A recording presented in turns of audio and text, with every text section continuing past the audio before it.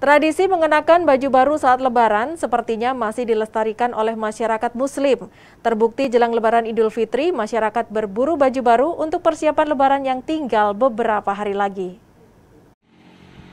Sejumlah toko baju di Magetan mulai diburu masyarakat menjelang lebaran Idul Fitri 1443 Hijriah.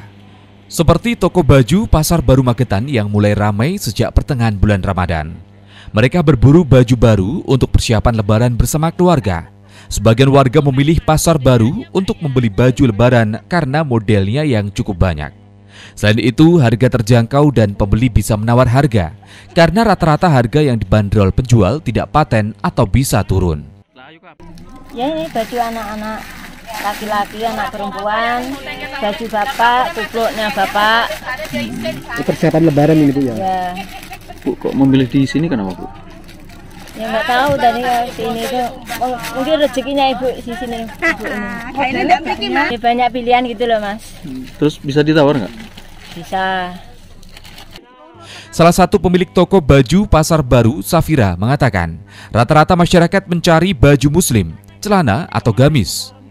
Jelang lebaran, omset penjualan di tokonya naik dua kali lipat dibanding lebaran Idul Fitri tahun lalu, omset juga meningkat. Karena lebaran tahun ini tidak ada larangan mudik dan bebas bersilaturahmi ke mana saja.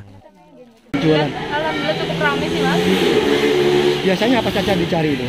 Eh, kalau cowok biasanya kurta, terus apa eh, celana chinos kayak gitu, terus apa kalau cewek ya gamis, gamis chiffon, terus midi gitu. Rata-rata untuk lebaran itu Mbak ya? Rata-rata untuk lebaran, kebutuhan Iya, lebaran. heeh.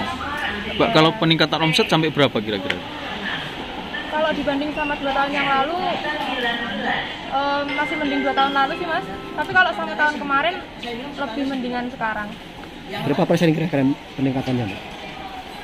Dua kali lipat biasanya. Diperkirakan pembeli akan terus menyerbu toko baju hingga H-1 Lebaran Idul Fitri besok. M. Ramzi, JTV, Magetan.